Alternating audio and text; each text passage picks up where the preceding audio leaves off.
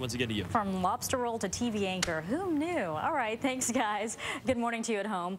The July 4th weekend is ending, unfortunately, with a heat wave on the East Coast. Sunday's temperature. All right. So checking today's weather for you, scattered showers will be moving into the northern plains of the southeast. Now here's an early look at what's going on in your area. Comfort in. All right, that's a look at it. Now here's Chris with the latest. Hey, Chris. All right, Betty, thank you.